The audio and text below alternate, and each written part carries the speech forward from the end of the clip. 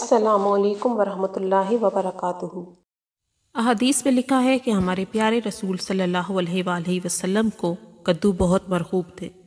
سنت نبی صلی اللہ علیہ وآلہ وسلم کے پیش نظر کدو کو ایک خاص اہمیت حاصل ہے۔ اور بعض لوگ تو اسے بہت ادب سے کدو شریف بھی کہتے ہیں۔ اسے شوق سے کھایا جاتا ہے۔ اور اس کی ڈنڈی سے لے کر بیچ تک کارآمد ہیں روغن کدو کو آج سے نہیں، پرانے حکمہ برسوں سے دماغ کی خشکی، بلڈ پریشر اور آساب کے کھنچاؤ میں استعمال کرا رہے ہیں۔ نیند کے لیے دوائیں کھائی جاتی ہیں، جبکہ گہری نیند کے لیے روغن کدو سے بہتر شاید ہی کوئی چیز ہو۔ نزلہ بخار میں اینٹی بائیوٹک دوا استعمال کرنے کے بعد سینے میں خراش، خشک کھانسی اور بلغم میں کبھی کبھی خون آنے لگتا ہے۔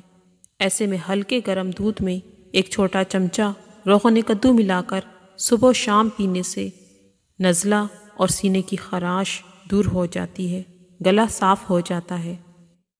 یہی روغن کدو پیشاب کم آنے اور پیشاب کی جلن اور درد کے لیے بھی مفید ہے۔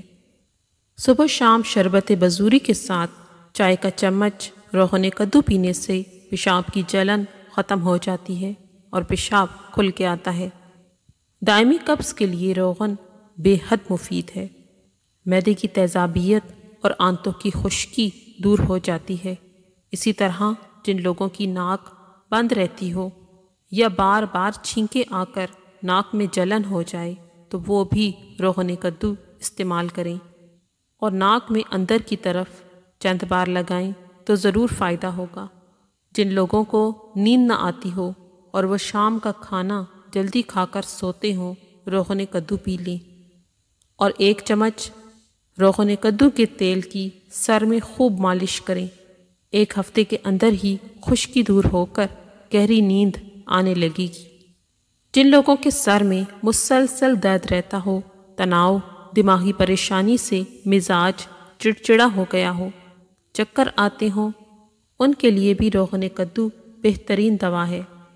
رات کو روزانہ اس کی مالش کریں، اسے اپنی غذا میں شامل کریں، انشاءاللہ صحت یاب ہو جائیں گے۔ گرمی کے موسم میں تیز بخار ہو اور مریض بے چین ہو جائے، تو نرم کدو لے کر اسے کدو کش کریں یا باریک ٹکڑے کاٹ کر سر پر رکھنے سے بہت فائدہ ہوتا ہے۔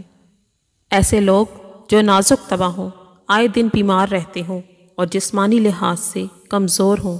کبھی کبھار دل کی کمزوری انہیں محسوس ہوتی ہو اور چلنے پھرنے سے سانس پھولتا ہو، انہیں چاہیے کہ اپنی غذا میں کدو کو شامل کریں۔